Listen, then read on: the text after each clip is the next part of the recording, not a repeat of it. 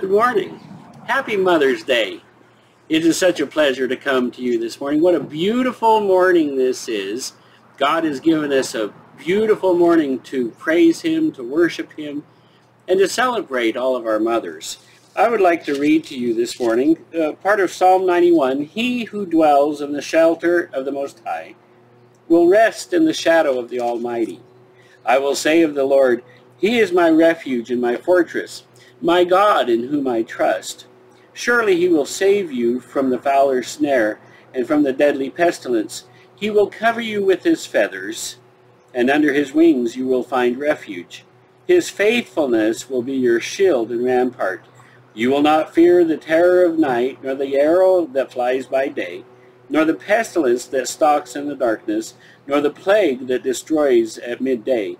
A thousand may fall at your side, ten thousand at your right hand, but it will not come near you. You will only observe with your eyes and see the punishment of the wicked. Let's pray. Lord Jesus, I just thank you this morning for this beautiful day you've given us to worship you. And I pray that you would bless all that we say and, and the response of our hearts toward you. I pray that you would bless each of our ladies, Lord. I pray that you would uh, remind them of your love for them, and not only them, but all who hear these words this morning. I thank you for your grace in our lives. Open our ears that we might hear what you have for us to hear this morning. Thank you, Lord, in your name. Amen. One of the most influential people in my life has been my mother. Not only did she nurture me and shield and teach and discipline, both of my parents taught me to trust in God, to serve him, to be faithful to him. When I decided to answer the call of God into ministry, I chose to attend the same Bible college that my mom had graduated from.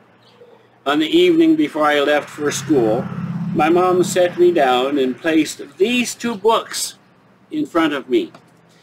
They are Unger's Bible Dictionary, and you can tell it's, it's, it's been around a while, and Cruden's Complete Concordance. She explained that these are the two primary textbooks that she used when she had gone to Bible school and that she wanted to pass that on to me as a sort of heritage, as a legacy uh, from one generation to the next. I have cherished these two volumes and I have hundreds of volumes now in my library and to be honest, some of them are far outweigh these two in their resource and in the information they carry. But I cherish these two more than all the rest, save my Bibles, for these represent my heritage, my legacy, a legacy of faithfulness, of commitment, of being willing to make that good confession to Christ one of the aspects of the commitment of my parents, one of the aspects of uh, that they were willing to teach, not only I, but my brothers, was the commitment or the confession they made of Jesus Christ. They were not bashful to confess him. They were not bashful. Uh, they did not hide their uh, relationship with God so that nobody could see it. Such is the statement of Psalm 91, a beautiful confession of God. In verse 2 of Psalm 91, I will say of the Lord, He is my refuge and my fortress, my God in whom I trust. Moses was making a confession of God and of God's faithfulness, of God's uh, willingness to provide and to shelter and to be a refuge, uh, a refuge. What a confession of faith. Now, we are not speaking this morning of confessing our sins. Often we speak of uh, verses and, and, and we rely on, for instance, 1 John 1, 9. If we'll confess our sins, he is faithful and just to forgive us our sins and to cleanse us from all unrighteousness. That is confession as well, but that is not this kind of uh, confession uh, specifically.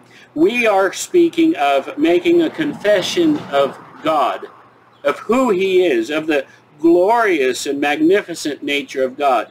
In verse 2 of Psalm 91, I will say of the Lord, He is my refuge and my fortress, my God in whom I will trust. It's not a confession of sins, although uh, that is a very important thing to do.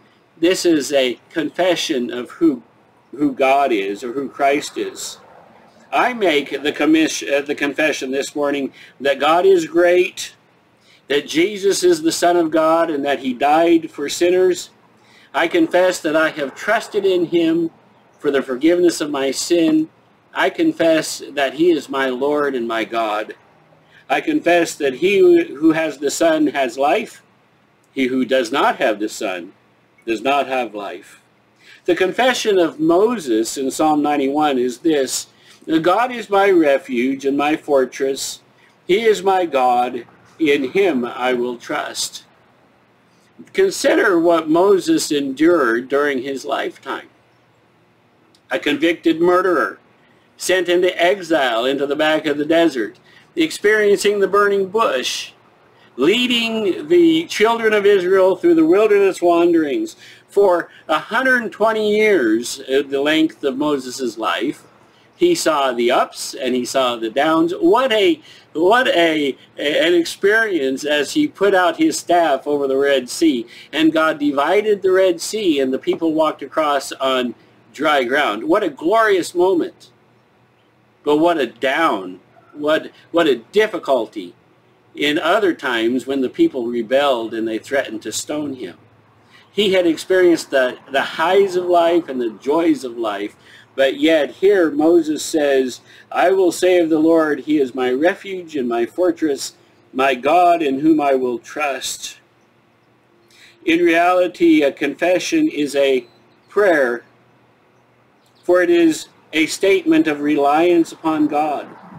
To fulfill this role of refuge and fortress, it is a confession of commitment. I choose to make God my refuge. I choose to make God my uh, my fortress. A fortress is no good if it stands empty.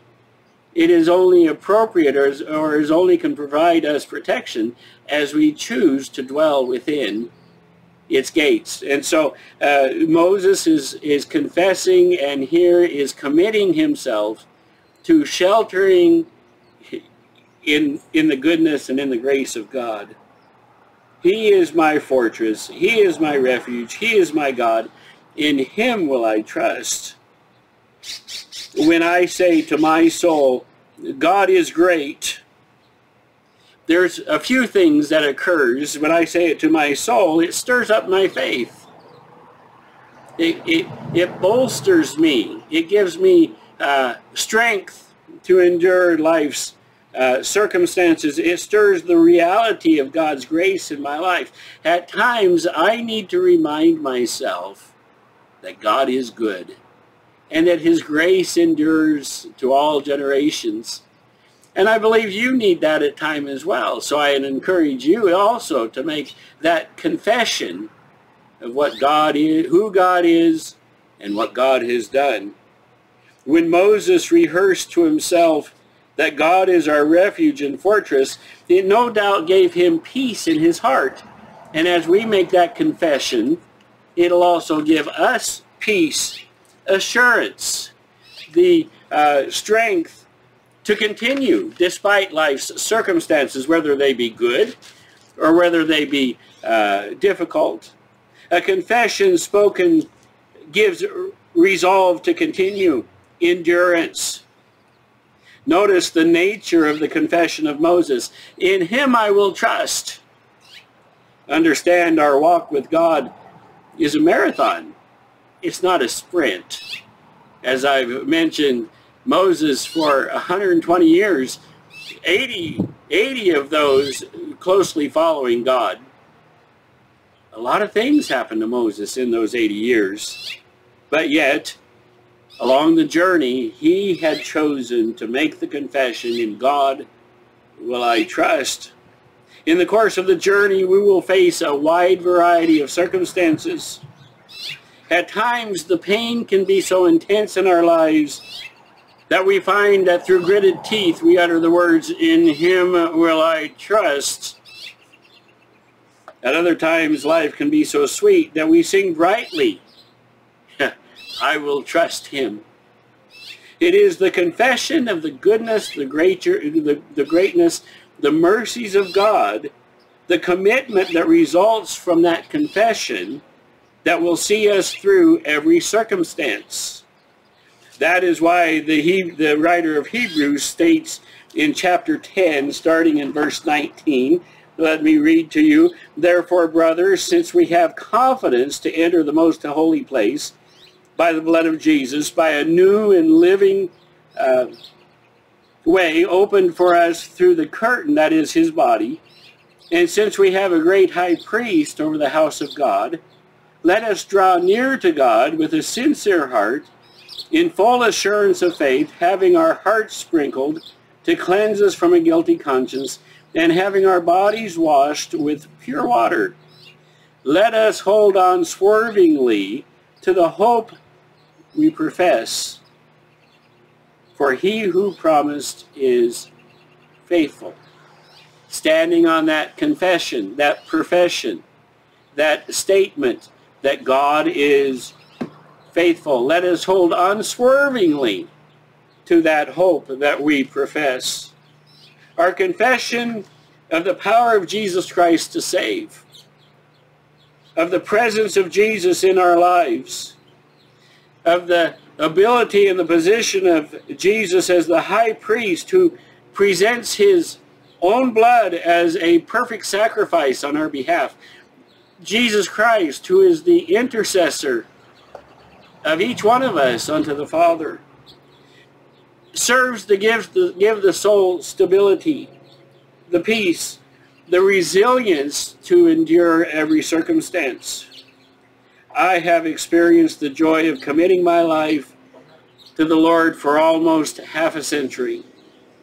And I can say to you this morning, my Jesus has never failed. He's never forsaken. He's never left. He is faithful. And I'm sure many of you, if not all of you, can make the same statement. If you can't, put your trust in him, and you will find that he is faithful to you as well. I encourage you to, to confess him not in some private or shielded way, as Jesus said, don't let your don't put your light under a barrel or or under a bush so that no one can see it. Rather, make your confession public, openly, freely. For it is in making a confession to others of the work of Jesus Christ in our lives that we not only establish that commitment in our hearts, but that then we can encourage others as well to make that same good confession. On this Mother's Day, I would like to thank my own mother, for it is through her confession of Jesus Christ that I also came to know him. It is through her example that I learned to serve him. It is through her faithfulness to him that I have learned to be faithful to God.